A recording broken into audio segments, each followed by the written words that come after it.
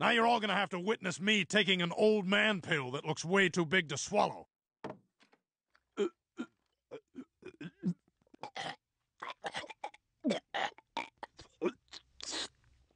Oh. there we go.